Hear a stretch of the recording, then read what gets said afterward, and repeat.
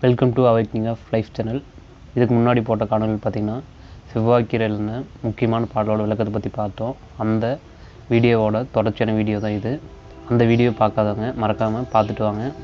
கமெண்ட்டில் நான் ஃபஸ்ட் கமெண்ட்டாக லிங்க்கை பின் பண்ணி வைக்கிறேன். மறக்காமல் அந்த வீடியோவும் பாருங்கள் அடுத்து பாடல் நாலு. சிவாயம் அஞ்செழுத்திலே தெளிந்த தேவர் ஆகலாம். சிவாயம் அஞ்செழுத்திலே தெளிந்து வானம் ஆகலாம். சிவாயம் அஞ்செழுத்திலே தெளிந்து கொண்ட வான்பொருள் சிவாய அஞ்செழுத்துலே தெளிந்து கொள்ளும் உண்மையே. இந்த பாடலுக்கான விளக்கம் பார்த்திங்கன்னா சிவாயங்கிற மூல மந்திரத்தை உச்சரிப்பதால் நாம் தேவர்கள் போன்ற மிக உயர்ந்த பிறவியை கூட நம்ம அடையலாம்னு சொல்லி சொல்லப்படுது. அதனால் நம்ம இந்த வான உலகத்தையே கூட ஆளலாம்.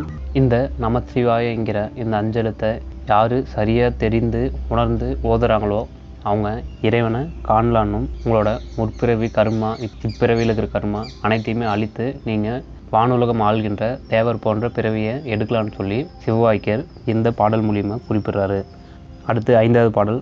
சாம நாலு வேதமும் சகல சாத்திரங்களும் சேமமாக ஓதிலும் சிவனை நீர் அருகிலீர்.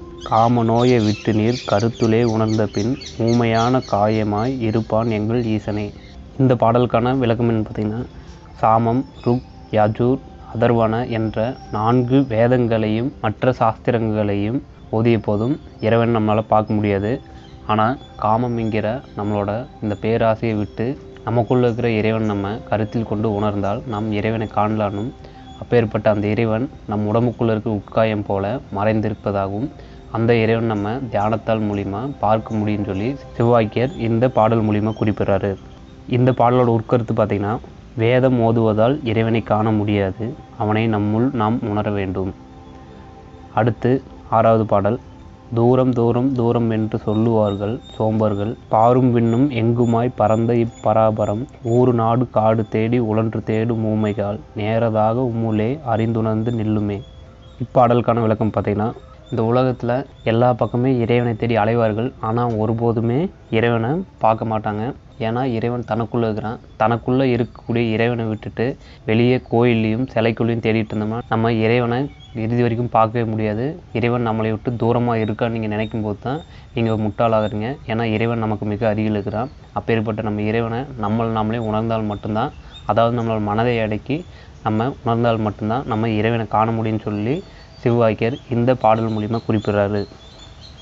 அடுத்து ஏழாவது பாடல்.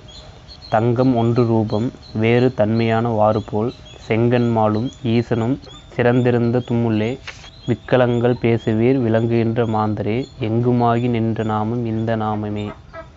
இந்த பாடலுக்கான பொருள் பார்த்திங்கன்னா தங்கத்திலான நகைகள் ஆபரணங்கள் எல்லாமே பார்த்திங்கன்னா எப்படி வெவ்வேறு உருவத்தில் வெவ்வேறு வடிவத்தில் இருந்தாலுமே அதனோட அடிப்படை பார்த்திங்கன்னா தங்கம் தான் சொல்லப்படுதோ அதுபோல் திருமாலும் ஈசனும் அதாவது விஷ்ணுவும் சிவனும் ஒன்றுதானும். இந்த உலகத்தில் எல்லாமே பார்க்குறதுக்கு வெவ்வேறையாக தெரிஞ்சாலுமே எல்லாத்துக்குள்ளேயுமே இறைவன் தான் இருக்கிறானும். எல்லாமே இறைவன் தான் சொல்லி சிவவாய்க்கர் இந்த பாடல் மூலிமா குறிப்பிடுறாரு. இனி அடுத்த ஒரு காணொலியில் மீதம் இருக்கக்கூடிய பாடல் பற்றியும் அதற்கான விளக்கத்தை பற்றியும் பார்ப்போம். இந்த காணொலியும் இந்த பாடல் விளக்கமும் உங்களுக்கு பிடிச்சிருந்தா மறக்காமல் கமெண்ட் சொல்லுங்கள் தொடர்ந்து இணைந்திருங்கள். அடுத்த காணொலி சந்திப்போம். நன்றி வணக்கம்.